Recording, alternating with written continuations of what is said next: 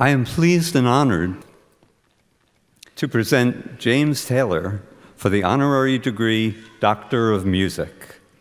From the late 60s, when he was the first American artist signed by Apple, the Beatles record label, James Taylor has defined the singer songwriter genre.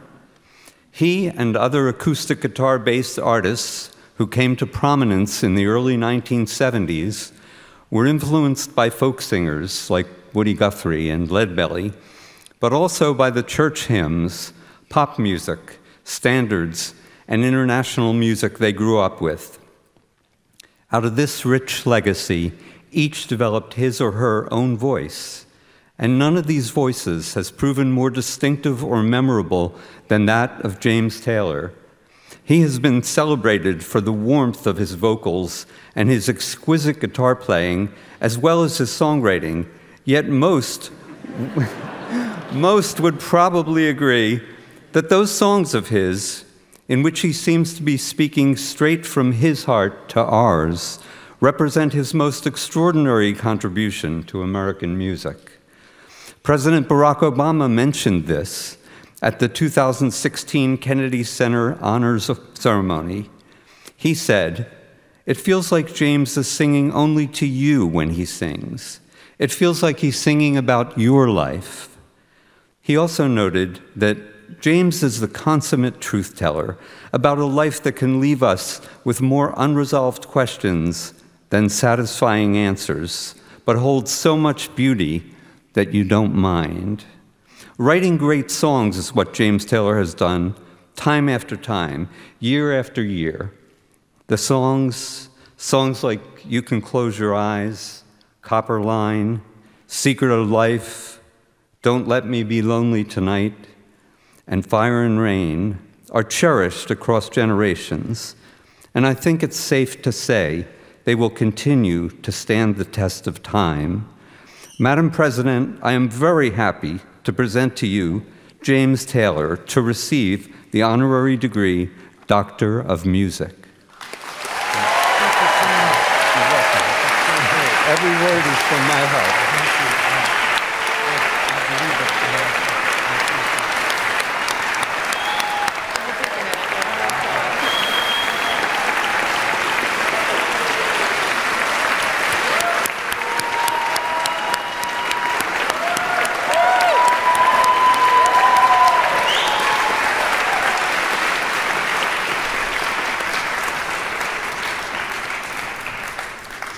Celebrated for the warmth of his vocals and his exquisite guitar playing, James Taylor has defined the singer songwriter genre.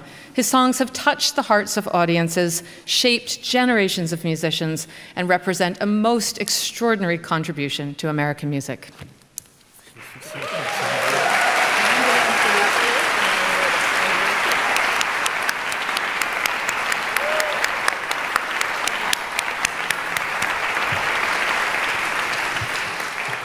And now I have the absolute privilege and very distinct honor to welcome to the podium this year's commencement speaker, Dr. James Taylor.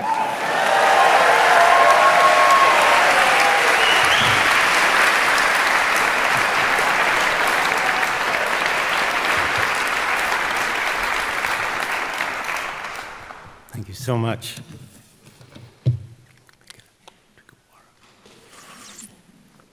Oh, this is excruciating. An excruciating honor. Thank you. Thank you from the bottom of my heart. I, uh, uh, dear students, faculty, distinguished guests, and parents, I'm so proud to have been offered this honorary degree by the New England Conservatory of Music. When I learned that my friend Manny Axe was also being honored, I said, wow, that's some great company.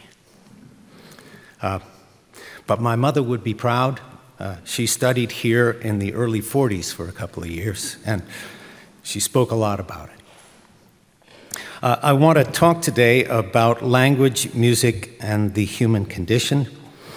I realize that to talk about music is, in a way, an exercise in futility.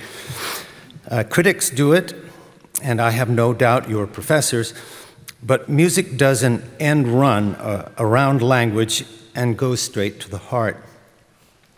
Uh, it defies our efforts at judgment and control.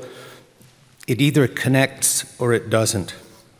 I suppose one might be persuaded to appreciate a particular piece of music, but that sounds pretty cerebral to me.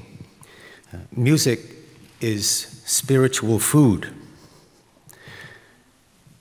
Now, the human condition, it seems to me, is that we are split, uh, bifurcated.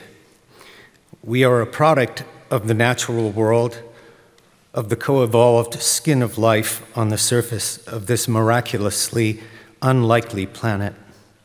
But we put ourselves slightly above and at some remove from that natural world.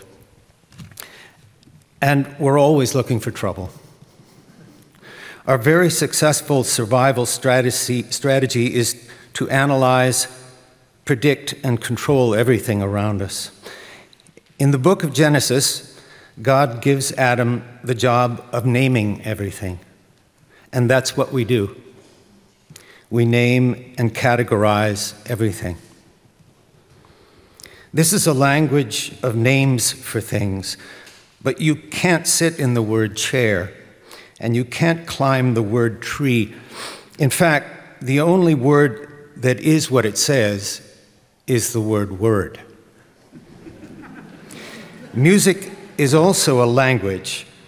We use it to communicate mostly emotions, but it's not representative like this language of names. Music feels real. Analyze, predict, and control it's a, it's a defensive strategy, and we are suspicious and distrustful not only of the natural world, but of our own animal selves, of this meat suit we live in, with its appetites and urges, which humiliates and embarrasses us, and which, in the end, will betray us with its mortality. Maybe this is a good point for you to tell me, uh, for me to tell you uh, my favorite joke. what did the Zen Buddhist say to the hot dog vendor? Make me one with everything. uh, it's, it's a very dad joke. I'm pretty sure that uh, Kim's and my new puppy at home is, is one with everything. And when I was a kid, I was too, I think. But over time, I learned self consciousness. I also assembled a worldview, a sort of consensus reality. These are wonderful tools. They allow us to cooperate with strangers. Actually, I think that that's a pretty decent definition of civilization cooperation among strangers. But it comes at a cost. The price of our egocentric identity is separation and isolation, and we very much want to escape. To give the rational humanist construct the slip and get back to the garden. Get back JoJo. Music can make that happen for a while. How does music make us one with everything? It's a mystery. But it might be partially because music is real. It obeys the laws of the physical universe. An octave is half the frequency of the one above it and twice that of the one below. A fifth, an octave, a third, a seventh, the entire overtone series is a physical, mathematical reality. And live music, like, uh, like Manny said, live music performed in an actual non virtual space with an audience of fellow humans can be truly transcendent, a communal, emotional event. COVID and its hiatus of nearly two years has brought home to me just how much I need it. And that's what I want to leave you with today and encourage you to do. Make live music for live people. Whatever it takes and however you can manage it alone or with other players, get your music in front of people. Make us one with everything.